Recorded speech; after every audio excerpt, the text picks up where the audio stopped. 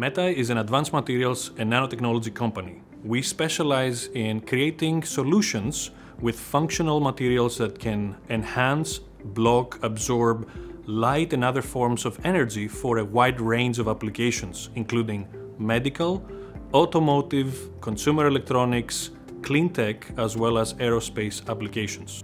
Meta is pioneering a new class of materials called metamaterials. If you look throughout time, there has been new inventions and breakthroughs that have characterized ages, the silicon age that we are currently living in. Well, we believe that in the future, using advanced software techniques, AI, engineers will be able to create materials that will enable our future. Meta has been uh, innovating over the last 10 years with originally a design approach that is upside down. What do I mean by that? A lot of uh, companies would approach innovation companies with chemistry as their source of innovation. Mixing chemicals is one way of solving problems. However, uh, it takes time, typically six months or more. It is quite expensive, typically $2 million or more, and it only results in incremental performance, typically 10 to 15%. What we do at Meta uh, with our upside down approach, we start with a design using computer algorithms that design the functions of the desired material. That makes us very powerful because we can use a single computer with a single engineer, reduce the time to designing and innovating in the material space from six months down to a few hours, reduce the cost, and the ability to offer a wide range of options to our customers makes us a preferred partner and a preferred developer that enables a wide range of applications in the industry. In Halifax, we specialize in aerospace and defense applications with our holographic core capabilities. My name is Oshrit Harel. I'm uh, the manager of R&D and material engineering. This is our R&D lab. This is where we take our concept and research and bring it to life. We take our concept to the next step uh, where it's uh, in larger scale and larger volume. We have our manufacturing facility where we can take our R&D developments and scale it up. We scale it both in size and in volume. We have industrial machines that could take everything we do in our R&D environment to a, manufacturing environment. So my team, the optical engineering and metamaterial design team, is responsible for working with customers to define an optical specification to ensure that they get what they're looking for. Then we design the manufacturing equipment or the prototyping equipment that's necessary to record those holographic optical elements. And we then build metrology equipment to ensure that the optical performance is what is defined in the specification. And we're also responsible for taking a lot of these prototyping works or, or development work and transferring it to production in a cost-effective and scalable fashion. We receive from our supplier a raw material that is in a lot of ways like old school photographic film. It's light sensitive, but instead of recording a photograph into it, we record a hologram. First step when we receive this film is that it has to be cut to size. Then we laminate it onto a recording substrate. That could be either a piece of glass or it could be a mirror and then we put it into our proprietary recording apparatus. And those recording apparatuses are what imprint the actual optical function into the material. In some cases, we're trying to record effectively very wavelength specific mirrors. We call these conformal filters and they're very useful for laser protection. In some cases, we're trying to record holographic lenses or holographic reflectors that have well-defined optical functions at very specific wavelengths. We have expertise in manipulation of the film, laminating it onto various different substrates, and then further integrating it into a form factor that is used for our various customers. We worked with Airbus on a laser eye protection solution.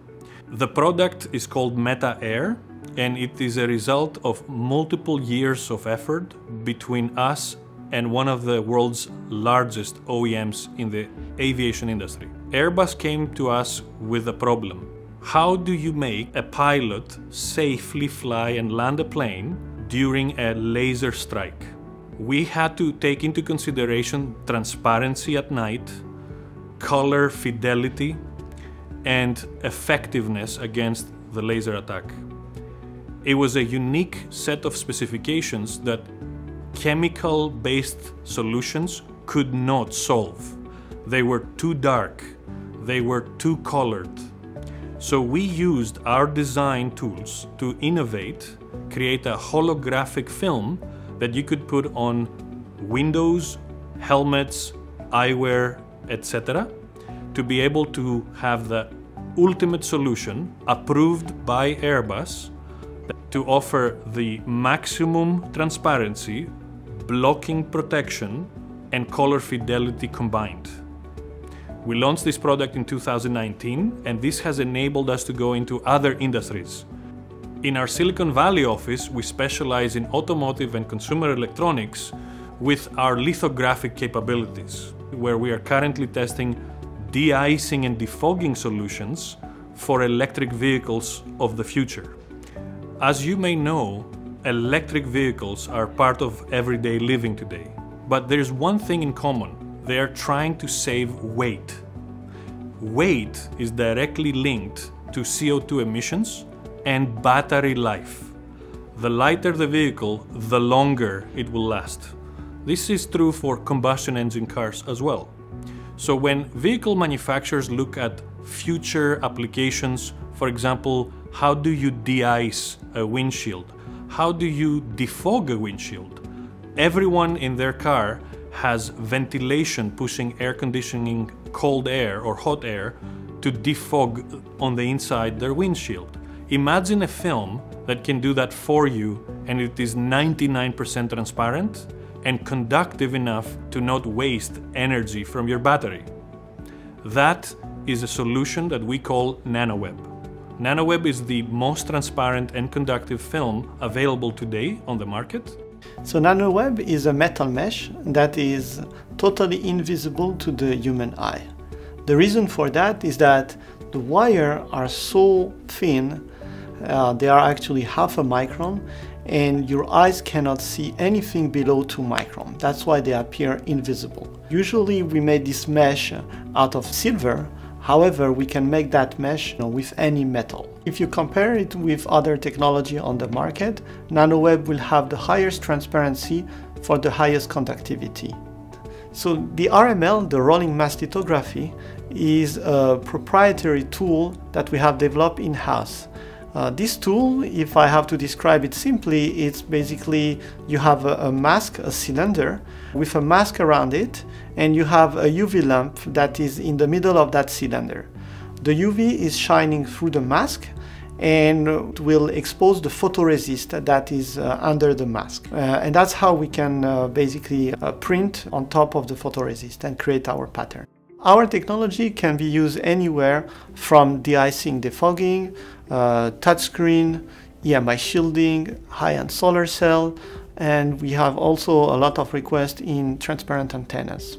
In our UK office, we're doing some very exciting work. The work is related to medical applications. Many years ago, I was researching with my co founders the benefits of using metamaterials to enhance and improve medical diagnostics, particularly non invasive medical diagnostics. For example, how do you measure the glucose of blood without drawing a single drop of blood? How do you enhance MRI imaging, magnetic resonance imaging, without staying in a claustrophobic environment and speeding up the process? At Meta, we discovered that one of the fundamental problems in improving medical diagnostics for non invasive devices is that you have to go through the skin barrier. That means that energy, whether it's MRI technology, ultrasound, and the like, cannot go efficiently through the skin. The signal bounces off. For that, we developed a metamaterial surface, a film, that does what's called impedance matching it allows for a certain frequency range the signal to go through the skin, making algorithms work better with hardware. Enhancing and boosting the signal means that you have now a faster, cheaper, and higher quality diagnostic. A product called GlucoWise, a non invasive glucometer that does not draw blood. We are also working on developing an MRI enhancement device which will take multiple hours worth of imaging down to a few minutes.